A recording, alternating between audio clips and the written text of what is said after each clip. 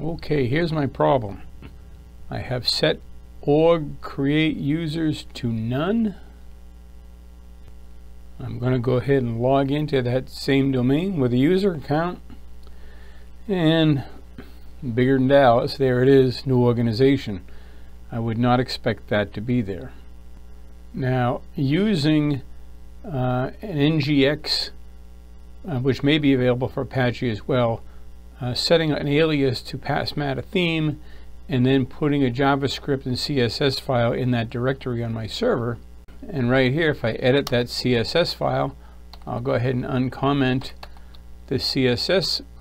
Then I come over here and uh, log in. Sure enough, it makes it disappear. But then th that makes it disappear even for the administrator, so that's not the fix I need. I just want all users to not have that there. Now I did find this single organization button which presumably would ma makes it so they can't create organizations but unfortunately even though I have that turned on if I log in under a regular user account it still shows them the link now I realize when they go in there it won't allow them to create the organization. You know, it gives them the red warning and so on.